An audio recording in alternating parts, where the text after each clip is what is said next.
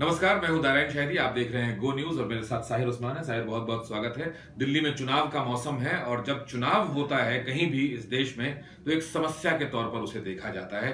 समस्याएँ लेकर आता है चुनाव। भले ही चुनाव के बाद कोई भी सरकार आए तो समस्याओं को सुलझाने की कोशिश करे, लेकिन चुनाव के समय जो माहौल होता है, वो किसी समस्या से कम नहीं होता है। बहरहाल, हम बात करेंगे क्रिकेट की। फ़िलहाल समस्या भारतीय टीम की ये है कि उसमें भी चुनाव की समस्या है। रोहित शर्मा घायल हैं और न्यूजीलैंड के खिलाफ हमारा ओडीआई सीरीज़ जो है वो शुरू होने वाला है। अब भारतीय टीम का कंपोजिशन क्या होगा क्या स्ट्रैटेजी होगी उसके बारे में बात करेंगे। लेकिन सबसे पहले टीम को मुबारकबाद कि उन्होंने क्लीन स्वीप किया 5-0 से टी ट्वेंटी जो सीरीज़ है। बिल्कुल और बहुत ज़बरदस्त तरीके से करा और उम्मीद नहीं थी इतनी ज़बरदस्त तरीके से करेंगे न्यूजीलैंड को उनके घर में हराना। बहुत चलिए हम प्रीव्यू करते हैं। चलिए पहला जो ओडीआई है भारत और न्यूजीलैंड के बीच सेडन पार्क हैमिल्टन में होगा पाँच फरवरी को। तो इसमें क्या संभावनाएँ हैं इस बारे में हम चर्चा करेंगे। लेकिन सबसे पहले मुबारकबाद टीम इंडिया को।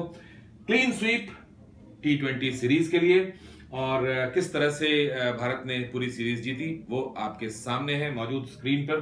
पहला टी ट्वेंटी छह विकेट से फिर सात विकेट से फिर सुपर ओवर में बहुत एक्साइटिंग मुकाबला जो चौथा मुकाबला हुआ फिर से एक बार सुपर ओवर में गया। और भारत ने जीत हासिल की पांचवा। जो है वो सात रन से भारत ने जीता। सीरीज़ शेड्यूल जो है भारतीय टीम की, जो ओडीआई सीरीज़ है, उसका शेड्यूल ये है कि पाँच को एक मैच होगा, फिर आठ को, फिर ग्यारह तारीख को। ज़्यादा गैप नहीं है, एक एक दो दिन का गैप है। सटन पार्क में पहला मुकाबला होगा, उसके बाद इंडियन पार्क में, ऑकलैंड में, और फिर ये जो काफिला है वो बे ओवल माउंट माउंट में पहुँच जाएगा। चलिए हम नज़र डालते हैं कि भारत का इतिहास क्या रहा है? अगर एक दिवसीय क्रिकेट की बात करें, न्यूजीलैंड के खिलाफ। जैसा कि हम देख सकते हैं कि ओवरऑल तो इंडियन टीम का काफ़ी पलड़ा भारी रहा है, करीब पचपन मैच जीते हैं उन्होंने, लेकिन न्यूजीलैंड में जब बात आती है तो टीम इंडिया ने कम मैचेस जीते हैं। टोटल मैचेस उनतालीस हुए हैं, जिसमें से 22 जीते हैं न्यूजीलैंड ने और 14 जीते हैं इंडिया ने। उम्मीद कर रहे हैं कि इंडिया इस सीरीज़ जीत के ये रिकॉर्ड कुछ बेहतर और करेगा। चलिए, देखते हैं कि बेहतर हो पाएगा कि नहीं। सडन पार्क की अगर बात करें, जो ग्राउंड है, बहुत ही खूबसूरत ग्राउंड है, छोटा ग्राउंड है और हाई स्कोरिंग मैचेस वहाँ होते हैं। टोटल ओडियाईज यहाँ छत्तीस खेली गई है। टीम बैटिंग फ़र्स्ट 11 बार खेली है और देखिए कैसे टी ट्वेंटी में जो सडन पार्क का होता है, वो बिल्कुल उलट है उसके कि टीम बैटिंग सेकंड तेईस बार यहाँ जीती है, नो रिज़ल्ट दो बार रहे हैं।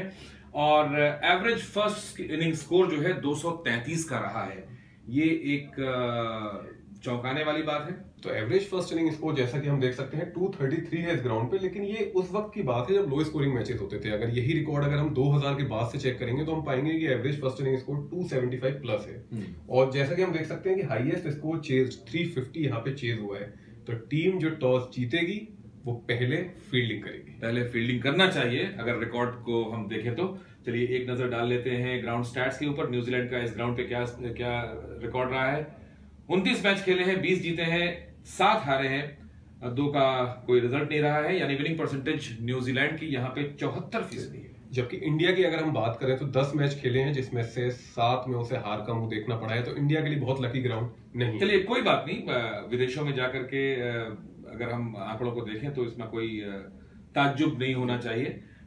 खासतौर से न्यूजीलैंड में और अब जो न्यूजीलैंड में जो टीम कर रही है वो बहुत बेहतर प्रदर्शन कर रही है। पहला ODI New Zealand versus India, Seddon Park, Hamilton, पाँच फरवरी को, जैसा कि हम आपको बता चुके हैं प्रोबेबल इलेवन क्या होंगी टीमों की? सबसे पहले हम नज़र डालते हैं भारतीय टीम की, जैसा कि आपको मालूम है, रोहित शर्मा इंजर्ड है, नहीं खेलेंगे।